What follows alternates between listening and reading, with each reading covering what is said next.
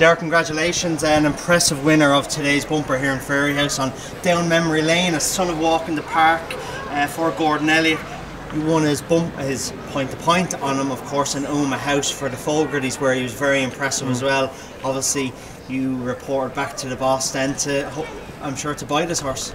Uh, this horse he done it all for himself, to be honest, Dave. He, uh, he was very impressive on the day, and uh, Fogarty brothers, Johnny and Mikey they do a wonderful job. They don't produce a lot of horses, but what they produce is normally good, and you can take them at face value. And they said they have a nice horse, uh, very trustworthy men, like, and they, they all said he was a nice horse when they rang me.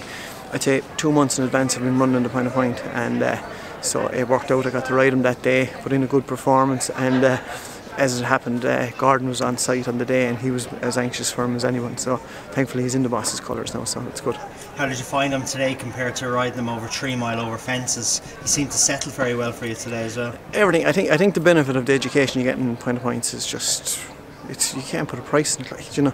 So when they come here to the big stage in, in Fairyhouse and competitive race, and they behave like that, so professional, race nice and relaxed, quickened when you wanted them, uh, that early education is worth anything. So it just goes to show what the Irish point pointers are doing quick word on point to point. You rode your 1300 winner there a couple of weeks ago for uh, Sam Curling. Congratulations! What a number to get to, and, and you've made it 1301 since then. So things are going really well. Yeah, it was a lovely number, um, and, and, for Sam, uh, especially, he's been very loyal to me. have a great, great ah, yeah, great friendship, great friendship. I don't class Sam as a trainer that I ride for. Uh, he's a pal, like you know. And uh, John Duggan, uh, I've ridden for John Duggan as long as I've had a license, and you know, so it, it was fairy tale, like. Famous colours. Yeah, uh, but 1300. A lot of trainers will tell you I should have reached it many moons ago. a lot of bad rides between now and then, but sure, that, that happens. That, happens. To get to that number is absolutely extraordinary. And do you mm. think about any any getting to any other milestone, or is it just a case just carry on as, as, as well as you can? Yeah, 1302 would be great.